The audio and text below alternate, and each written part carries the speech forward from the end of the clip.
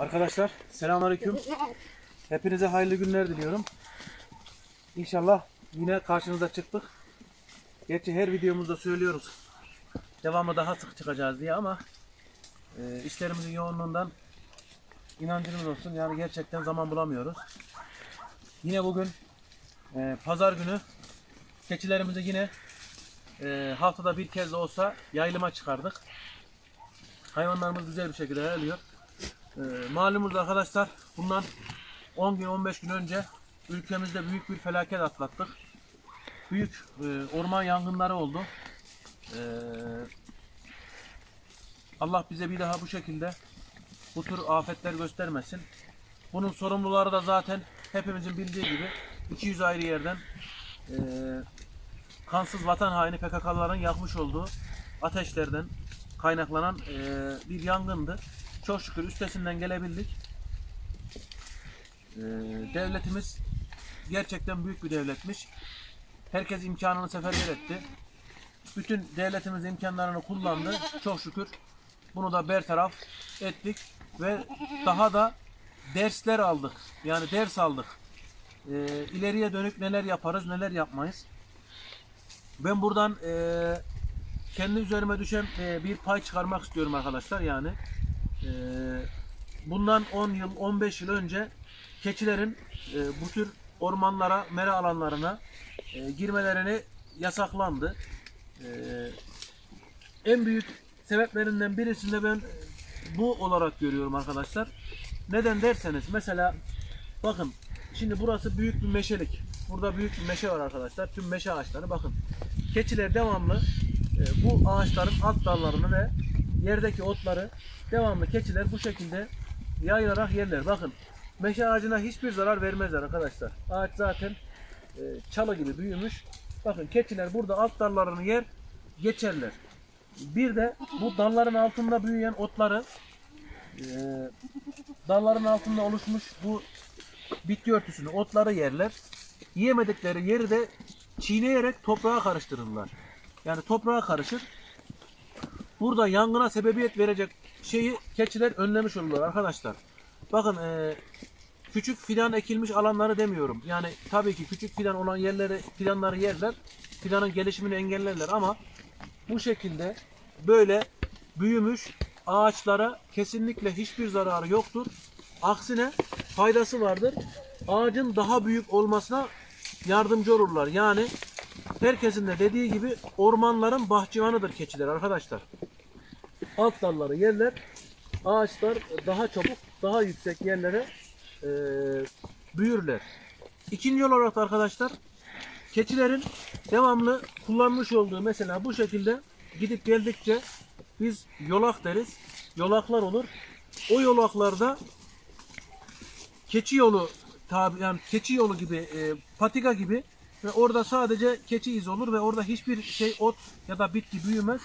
Yangınların yayılmasına yani ilerlemesine set olur. Oradan oraya geçmesini o da engeller. Ee, inşallah e, devletimiz bu konuda özellikle Antalya tarafındaki yörüklerimize teşvikler verirler. Onları e, tekrardan e, bu işin içerisine girmesi için teşvik ederler. Arkadaşlar bir ormanda mesela şu şu bulunan bölgeyi ben bundan bir sene önce, iki sene önce hiç tanımıyordum, hiç bilmiyordum.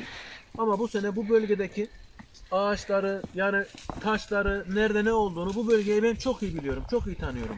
Yani bu bölgede bir yabancı bir insan ya da bir adam gördüğüm zaman e, o adam benim ilgimi çekiyor, dikkatimi çekiyor. Nereden geldi, nereden gitti diye. Ama ben burada olmazsam o adamın buraya gelip gittiğini göremem. Yani e, şöyle söyleyeyim. O bölgedeki çobanlar da o bölgenin gözü kulağıdır arkadaşlar. E, o yüzden ormanlarımızda keçilerin, çobanların, çobanlarımızın, e, sürü sahiplerinin bulunmasının çok faydası vardır. E, hem ülke ekonomisine katkıları olur. Çünkü onlar üretim yapıyorlar. Öyle bir toplum olduk ki arkadaşlar gerçekten sadece tüketime dayalı bir toplum olmaya başladık. Yani şimdi çok şükür bakın çoğu kişi benim yaptığım işle e, bu işi bağdaştıramıyorlar. Yani diyorlar ki ya biz seni teknolojinin içinde yani teknoloji işi yapıyorsun. E, diğer tarafta bir bakıyoruz elinde e, değnek dağda çoban e, koyun yayıyorsun. Ya gerçekten e, onun onun hiçbir bağlantısı yok arkadaşlar. Yani ben teknoloji işiyle uğraşıyorum diye yani teknolojik aletlerle uğraşıyorum diye bu benim işte keçi yaymamam, tavuk beslememem anlamına gelmiyor. Tamam doğrudur. Belki ihtiyacım yoktur ama ben gerçekten şu anda şu ortam yaşamaktan çok keyif alıyorum. Çok mutlu oluyorum. Bakın hep alt dalları, bak yetişebildikleri dalları, alt dalları bunlar yiyorlar. Şimdi alt dallardan itibaren yetişebildiği yere kadar yiyebildiği için e, bu yangın çıkma ihtimalinde bu dalların yanması söz konusu değildir. Bu ağaç daha da çok yükseğe çıkacak. Daha çok yüksek büyüyecek ve e, çok faydalı bir e, orman bitki örtüsü olacak. Diğer türlü sadece bu şekilde böyle çalı gibi kalacak. Küçük bir şekilde yangına daha elverişli bir hale gelecek. Evet. Arkadaşlar e, tavuklarımız inşallah devam ediyor. Tavuklarımız da duruyor. Şu anda bir 30 tane rır anacımız oldu. 30 rır anacımız oldu. Hemen hemen 10 kadar biressemiz oldu. 10 kadar biressemiz oldu arkadaşlar. Ligorinlerim duruyor. Ee, Avustraloplarımız duruyor. İnşallah bu sene yine sizlerle daha çok sık beraber, beraber olacağız. Ormanlar hakkında, yangınlar hakkında keçilerin önemini, faydasını anlatmak için bu videoyu da sizler için çektim. Bakın yayılıp aşağılardan bakın bıraktılar yani ağacı şey yapmadan alt dalları uzanabildiklerini yediler. İlerleyip devam edip e, gidiyorlar. Benim de inşallah bir katkım olmuştur. Bu şekilde e, hepimizin imkanı o imkanımız olduğu sürece üretim yapmalıyız arkadaşlar. Gerçekten ülkemize faydalı faydamız faydamızın olması lazım. Tüketime dayalı bir toplum olmamalıyız. Zaten başımıza ne geldiyse her şeyi tükettiğimiz için köylüler tavuk mu beslenir? Yumurtanın korusu kaç lira? Ekmek mi yapılır? Zaten ekmekçide ekmek şu kadar ucuz. İşte ya her şeyi satın alıyorlar ya. Ben anlamıyorum arkadaşlar. Elimizde imkanımız varsa lütfen değerlendirelim. Bu devlete, bu topluma e, bizlerin katkısı olsun. Üretim yapalım, üretelim. En iyi şekilde, en kaliteli şekilde e, faydamız olsun. Arkadaşlar yeniden karşınızdayım. Hepinize hayırlı günler diliyorum. Diliyorum. Sağlıcakla kalın.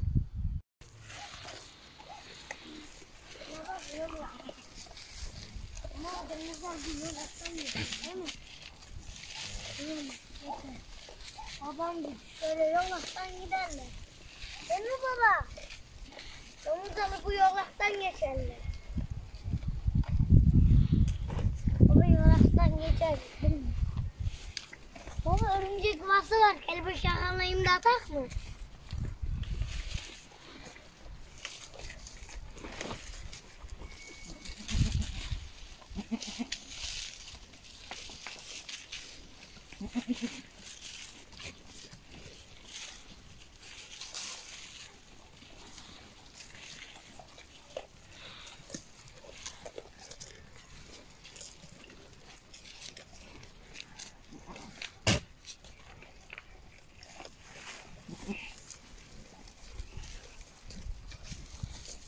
Mm-hmm.